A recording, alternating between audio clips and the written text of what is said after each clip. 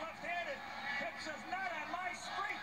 He wipes that ball out, and then it comes over to Dickey. Watch this play. Up he goes. Kendall can sky.